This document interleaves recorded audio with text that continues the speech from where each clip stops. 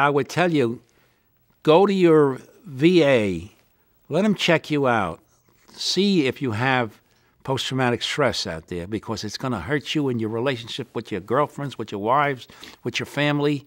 You're going to act differently than other people. You're not the same. You're not the same.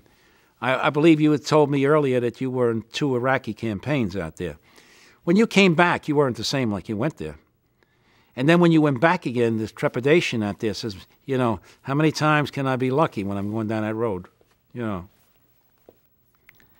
And you can relate to another combat veteran where you can't relate to a civilian. You can't. Because he's never been through it. It's not he's a bad person.